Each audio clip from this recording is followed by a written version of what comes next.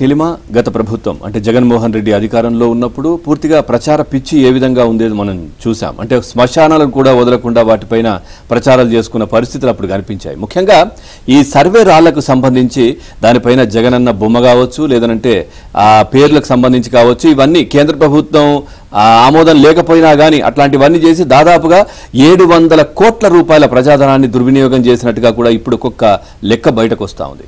Right చూద్దాం. YCP అధినేత జగన్కు ఉన్న ప్రచార పిచ్చి ఏపీ ఖజానాను గుల్ల చేసినట్లు ప్రభుత్వం గుర్తించింది. కోటి రూపాయలు పది కోట్లు కాదు ఏడు వందల కోట్ల రూపాయల మేర ప్రజాధనాన్ని జగన్ తన పేరు ఫోటోల పిచ్చి కోసం తగలేశారు. భూముల సమగ్ర సర్వే పేరిట కేంద్ర మార్గదర్శకాలకు విరుద్ధంగా సర్వే కోసం గ్రెనేడ్ రాళ్ళను తీసుకొచ్చి వాటిపై తన తండ్రి పేరు తన పేరు చెక్కించుకున్నారు. ఈ సరదా తీర్చుకునేందుకు ఆయన ప్రజాధనాన్ని దుర్వినియోగం చేశారు అని నిగ్గు తేల్చింది. ఇక ముఖ్యమంత్రి చంద్రబాబు నిన్న సచివాలయంలో తన కార్యాలయంలో రెవెన్యూ శాఖ కార్యకలాపాలపై సమీక్ష చేశారు. ఇక ఈ సందర్భంగా సర్వేరాళ్ళు పాసు పుస్తకాలు తదితర అంశాలపై కీలక చర్చ జరిగింది. ఎలాగైనా రీసర్వే కొనసాగించాలని కొందరు అధికారులు రెవెన్యూ శాఖ పెద్దలను భ్రమల్లో పెట్టే ప్రయత్నం చేశారు. అందులో భాగంగా రీసర్వేను కొనసాగిద్దాము అనే తరహాలో సీఎం వద్ద ప్రతిపాదనలు ఉంచారు. వాటిని చూసి ముఖ్యమంత్రి తీవ్ర ఆగ్రహాన్ని వ్యక్తం చేసినట్లు తెలిసింది.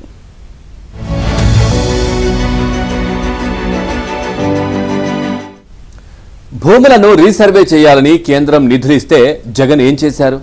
సరిహద్దులను నిర్దేశించేందుకు సాధారణ రాళ్ళను వాడతారని సీఎం చంద్రబాబు ఆగ్రహం వ్యక్తం చేశారు. కానీ జగన్ కేంద్ర మార్గదర్శకాలకు విరుద్ధంగా డెబ్బై ఏడు లక్షల ఖరీదైన గ్రానైట్ రాళ్ళను కొన్నారన్నారు. ఇక వాటిపై తన పేరును ముద్రించుకున్నారని తెలిపారు. పాసు పుస్తకాలపై తన పేరు ఫోటోలు అచ్చు వేయించుకున్నారని మండిపడ్డారు.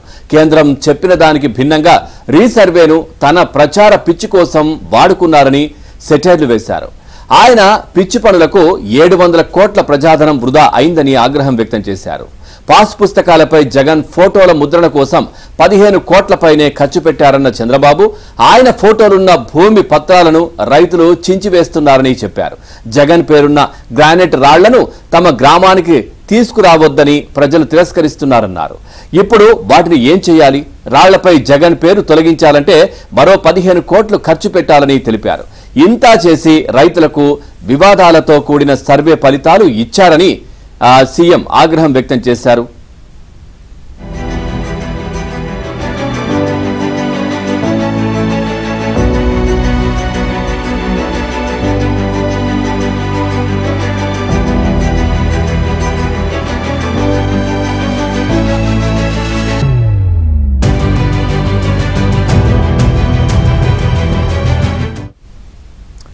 రైట్ జగన్ ప్రచార పిచ్చికి అధికారులు సహకరించారని నిధుల ఖర్చు విషయంలో ఏమాత్రం అడ్డు చెప్పలేకపోయారని ఆయన తీవ్రంగా స్పందించినట్లు సమాచారం. ఇక కేంద్ర మార్గదర్శకాలను ఆచరించాల్సిన వారే ఫోటోల పిచ్చికి సహకరిస్తే ఎలా?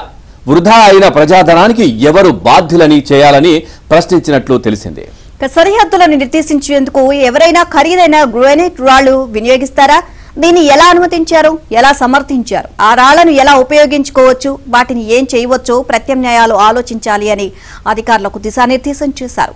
దళితులు బీసీలు పేద వర్గాల నుంచి వైసీపీ నేతలు పెద్ద ఎత్తున భూములు లాక్కున్నారని మదనపల్లె ఉదాంతం నిరూపిస్తోంది అని సీఎం చంద్రబాబు పేర్కొన్నారు. ఓవరాల్గా ఇదే అంశానికి సంబంధించి మరింత సమాచారాన్ని ఏపీ బ్యూరో చీఫ్ రామారావు అడిగి తెలుసుకుందాం. రామారావు జగన్ ప్రచార పిచ్చి తారాస్థాయికి చేరుకుంది. దీనివల్ల ఏడు వందల కో- కోట్లకు పైన పైగానే ధన ప్రజల ధనం వృధా అయిందని చెప్పి తెలుస్తోంది. ఓవరాల్గా అప్డేట్స్ ఏంటి? నీలిమ ఆంధ్రప్రదేశ్లో మాజీ ముఖ్యమంత్రి జగన్ ప్రచార పిచ్చి కోసం ఏడు వందల కోట్ల రూపాయలు తరలించమైన నిన్న ముఖ్యమంత్రి చంద్రబాబు నాయుడు వద్ద జరిగిన సర్వేలో తేలింది సమీక్షలో తేలింది.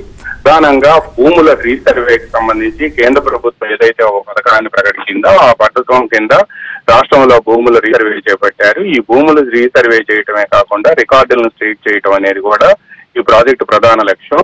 అయితే అందుకు విరుద్ధంగా ఈ ఈ పథకాన్ని ఏదో తామే రాష్ట్రంలో ప్రవేశపెట్టినట్టు చెప్పడమే కాకుండా ఈ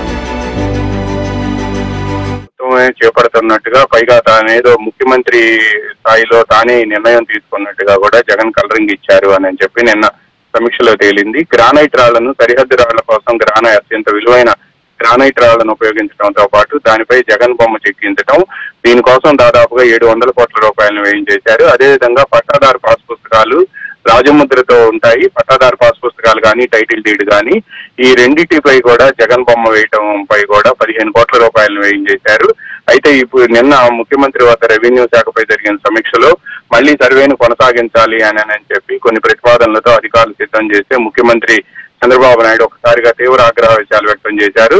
ఈ ప్రచార పిచ్చి కోసం ఏడు వందల కోట్ల రూపాయలు తగలేయటం ఏంటని చెప్పి ఆగ్రహం వ్యక్తం చేయటమే కాకుండా ఈ రాళ్ళను ఏం చేయాలి అనే అంశంపై కూడా ప్రధానంగా చర్చ జరిగింది.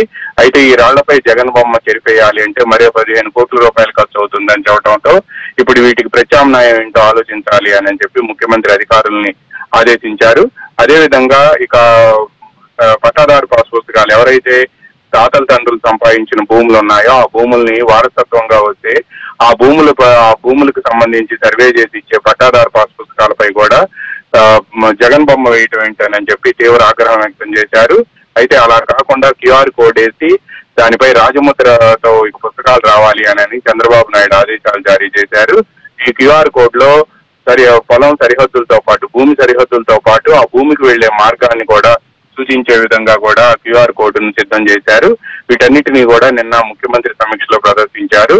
అయితే ఆ రాజముద్రతో పాటు క్యూఆర్ కోడ్ ఉన్న పుస్తకాలను ఇక ముందు పంపిణీ చేయాలి అని చెప్పి ఆదేశాలు జారీ చేశారు. జగన్ ఉన్న బొమ్మ ఉన్న పుస్తకాలను మాత్రం ఎట్టి పరిస్థితుల్లో ఇక జారీ చేయవద్దు అని కూడా ఆదేశాలు ఇచ్చారు. దీంతో పాటు రాష్ట్రంలో పలా చాలా ప్రాంతాల్లో ముఖ్యంగా విశాఖపట్నం విజయవాడ గుంటూరు అనంతపురం తిరుపతి ఇటువంటి ప్రాంతాల్లో కూడా పెద్ద ఎత్తున భూ ఆక్రమణలు జరిగాయని వైసీపీ నేతలు దళితులకి మైనార్టీలకు సంబంధించిన భూములను ఎక్కువగా లాగేసుకున్నారని దీనిపై క్షేత్రస్థాయిలో రెవెన్యూ సిసిఎల్ఏ తో పాటు రెవెన్యూ శాఖ స్పెషల్ చీఫ్ సెక్రటరీ ఇతర ఉన్నతాధికారులు కూడా కీలకమైన జిల్లాలన్నింటిలో కూడా పర్యటించి ఎవరైతే భూ ఆక్రమణలు గురయ్యారో వాళ్ళందరి వద్ద బాధితుల వద్ద నుంచి వినతి పత్రాలు తీసుకొని వాటిని సత్వరమే పరిష్కరించాలి అని కూడా చంద్రబాబు నాయుడు ఆదేశించారు. జోన్ల వారీగా అధికారులు వెళ్ళాలి అనని క్షేత్రస్థాయిలో వాస్తవాలను పరిశీలించాలి అని కూడా సీఎం ఆదేశాలు జారీ చేశారు.